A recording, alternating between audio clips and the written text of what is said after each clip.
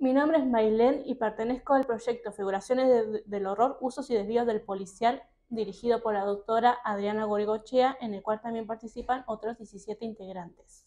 Nos ocupamos de la narrativa argentina actual y de formaciones culturales como el cine o las series.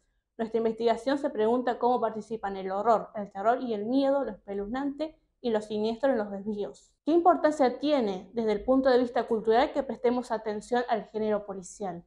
Ricardo Piglia dice que el gótico y el policial está la idea de que hay un mundo más tenebroso que el mundo cotidiano. Para nosotros, el policial es una matriz significativa de funcionamiento del mundo y de la búsqueda de la verdad.